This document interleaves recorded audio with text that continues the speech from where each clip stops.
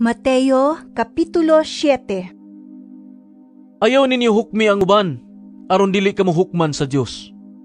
Kay hukman kamo sa Dios, sama sa paghukom ninyo sa uban. Ug sukdon kamo niya sa samang sukdanan nga inyong gigamit sa uban. Nganong nakita manimo ang puling sa imong isigkataw, apan wala ka magtagad sa truso diha sa imong mata. Unsaon manimo pag-ingon sa imong isigkataw, kuhaon ko kanang imong puling, nga naa may truso sa imong mata. Tigpa karon ingnon, kuhaauna ang truso nga naa sa imong mata, aron makakita kapag ayo, ug makuha mo ang puling sa imong isigkataw. Ayaw ihatag ang mga butang nga balaan ngadto sa mga iro. Kay tingalig musumbalik sila ug mupaak kaninyo. Ug ayaw iitsa ang mga perlas ngadto sa mga baboy kay kini tamak-tamakan lamang nila. Pangayo og kamuhatagan, pangita og kamu makakaplag. Panuktok og ang pultahan ablihan alang kaninyo. Kay ang mangayo hatagan, ug ang mangita makakaplag, ug ang manuktok ablihan.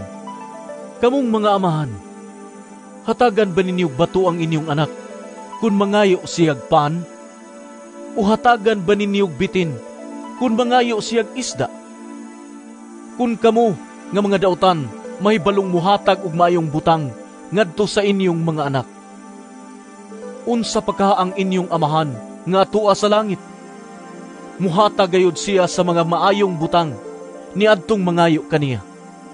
Buhata ngadto sa uban ang buot ninyo nga ilang buhaton nga kaninyo. Kini ang kahulugan sa balaod ni Moises ug sa pagtulunan sa mga propeta.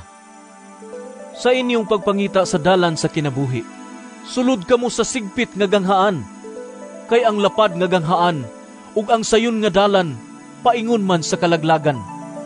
Mao kini ang gisubay sa kadaghanan. Apan masigpit ang ganghaan ug malisod ang dalan paingon sa kinabuhing dayon ug jutay ra ang nakakaplag niini.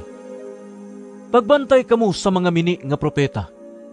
Muanha sila kaninyo nga murag mga karnero, apan ang tinuod, sama sila sa bangis nga mga lobo.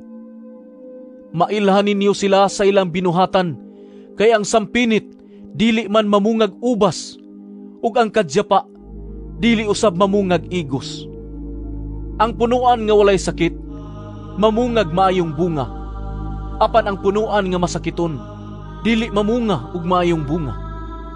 Dili makabungag walay pulos nga bunga, ang punuan nga walay sakit.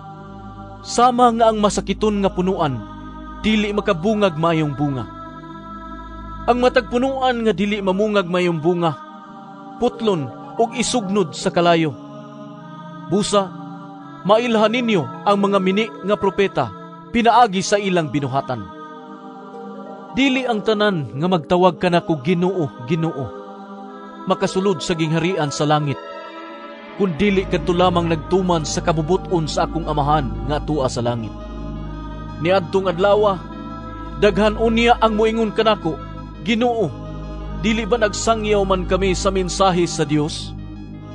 Naghingilin sa mga yawa ug naghimog daghang mga milagro pinaagi sa imong ngalan? Apan ingnon ko niya sila, wala ako makaila kaninyo. Mga makasasala, pahawa kamo. Busa, ang tanan nga nakadungog sa kong gisulti ug nagtuma niini. Mahisama sa usa ka maalamong tao nga nagtukod sa iyang balay diha sa bato. Sa dihang mibundak ang ulan ug mibaha ang mga suba ug ang hangin mihapak ug mikuso-kuso niadtong balaya. Wala kini matumba kay natukod man diha sa bato. Apan ang tanan nga nakadungog sa kong gisulti ug dili mo tuman niini mahisama sa usa ka taong buang-buang nga nagtukod sa iyang balay diha sa balas. Sa dihang mibundak ang ulan ug mibaha ug ang hangin mihapak ug mikuso-kuso ni adtong balaya. Natumba kini ug nagunob Sa pagkahuman ni Jesus ug sulti ni ining mga butanga, ang mga tao na tingala sa iyang pagtulunan. Lahi siya sa ilang mga magtutudlo sa balaod, kay ang iyang pagtudlo inubanan man sa autoridad.